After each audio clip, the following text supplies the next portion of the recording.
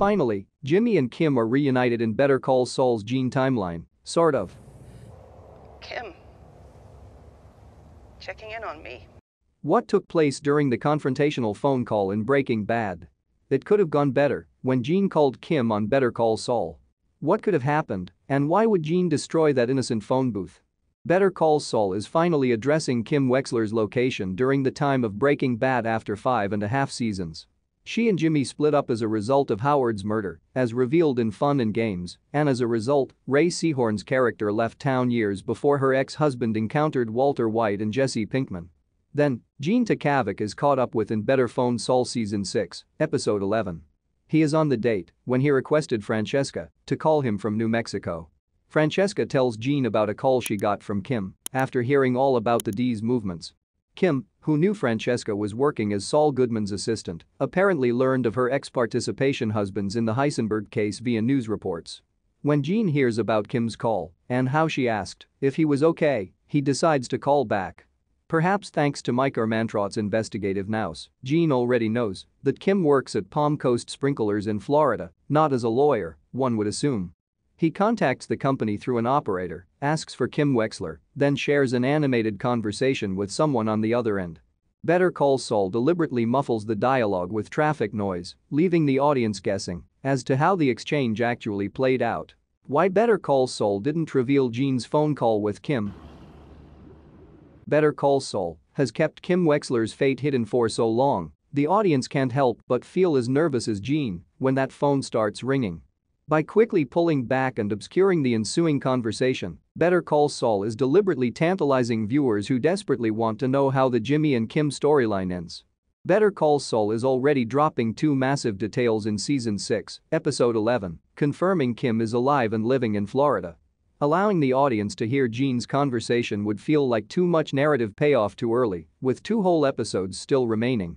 Better Call Saul must surely be saving its Jimmy McGill and Kim Wexler reconciliation for the grand finale, stoking fever pitch anticipation for the eventual moment they cross paths after six long years estranged. This delightfully infuriating tactic also keeps Better Call Saul's biggest mystery alive until the very end. We know Kim is okay. We know she's selling sprinklers in Florida. But how does Kim feel about Jimmy McGill? More importantly, how does she feel about Saul Goodman after hearing all the awful horrors her ex-husband committed with Heisenberg? By keeping all details of Gene's conversation under wraps, those questions remain teasingly open-ended for now. Did Gene really speak to Kim? It's on a road, um... Why did he get so angry? There are two possible ways Gene's phone call plays out in Better Call Saul Season 6, Episode 11. 1. Kim blasts Saul Goodman as a murderous criminal who she no longer recognizes, then angrily demands he never call her again. 2. Gene asks for Kim, but she refuses to talk, leading to an argument with whichever poor Palm Coast Sprinklers employee picked up the phone.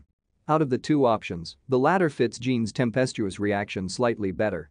Kim would certainly feel disgusted by her ex-husband's actions, enough to check Francesca is okay, even, and probably wouldn't have many kind words for him. But if Kim really did spit venom over the phone, would Gene respond with anger himself? Given the respect he holds for Kim and the regret he feels about the Heisenberg situation, Gene is hardly in a position to act defensive. If Kim came on the line and yelled at him in disgust, Gene probably would have accepted the tongue lashing and been glad to hear Kim cared, at least. As such, Gene probably doesn't speak to Kim in Better Call Saul Season 6, Episode 11's phone booth scene. More likely, his request was met with she doesn't want to talk to you, and Gene blew up at the poor messenger, who'd be forgiven for hanging up. What Gene's call means for Kim's fate. Hi, I need a number in Florida. Better Call Saul Season 6, Episode 11 makes it clear that Kim has very negative feelings against Gene, regardless of whether they were expressed in an acrimonious conversation between Gene and his ex-wife or in the form of a solid brick wall. Jimmy McGill and Kim Wexler split up amicably, and Kim later came to the conclusion that their union was a toxic destructive force that shouldn't exist.